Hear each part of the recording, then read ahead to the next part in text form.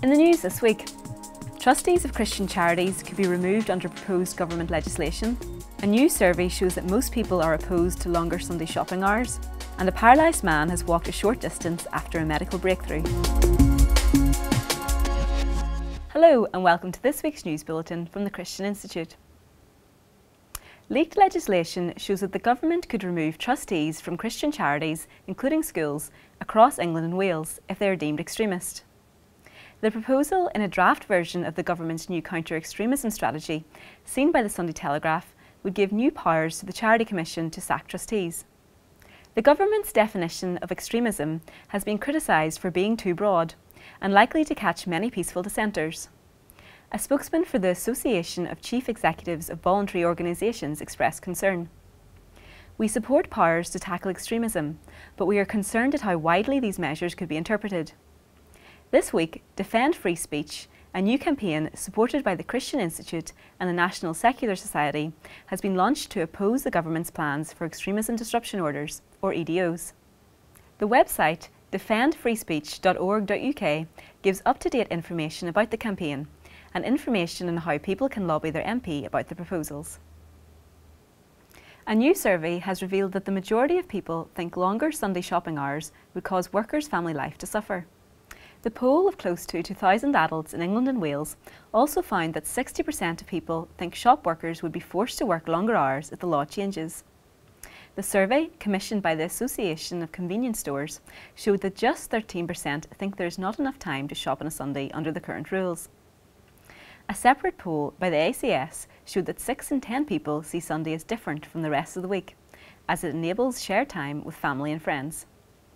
The results of both surveys were submitted to the government's consultation on allowing local authorities to extend Sunday trading hours.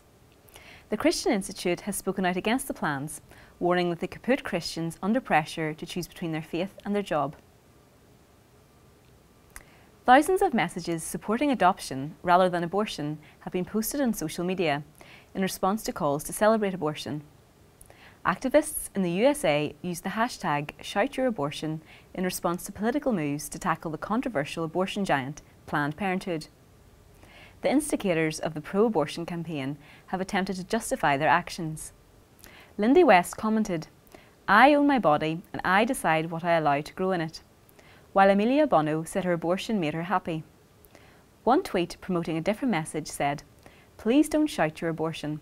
There are thousands of couples waiting for a chance to adopt your baby. Choose life, you won't regret it. Last year, the Christian Institute produced a series of powerful videos about people who've been affected by abortion. One of the stories in the Choose Life series focused on Gary Moore, who was conceived through the violent rape of a 17-year-old mother.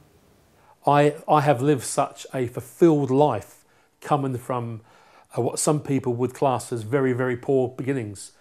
And it seems to me that God's been um, saving my life even before I was born. I've, um, some of the things in my life, I've been, I've been a soldier, I've been in the French Foreign Legion, I've been into places like North Korea and all these other different countries around the world, often in difficult circumstances, um, with some uh, pretty close scrapes at times. And I can look back over my life and think myself, if, if I had been aborted, none of these things would have happened. And finally, a US man who lost the use of his legs following a spinal injury has walked a short distance after doctors rerouted his brain signals in a medical breakthrough. 26-year-old Adam Fritz was left using a wheelchair following a motorbike accident five years ago. But doctors at the University of California have managed to bypass his damaged nerves by transmitting signals from his brain to electrodes around his knees. The technique didn't involve controversial embryonic stem cell research. Instead, Dr. An Do, who co-led the study, explained that a computer system detects when the brain waves change from a state of not walking into a state of walking. After extensive mental and physical training and 19 unsuccessful attempts, Fritz was able to walk over three and a half metres. He said taking those steps was incredible and urged others who found themselves in a similar situation to never give up hope. You can just look at the world around you. You know, life, life doesn't end when you're paralyzed. You know, it, it keeps going. And I, I wanted to be an active participant in that life. Well, that's all for this week. For regular updates and information on all of our stories, plus much more, visit our website at christian.org.uk. Until next time, goodbye.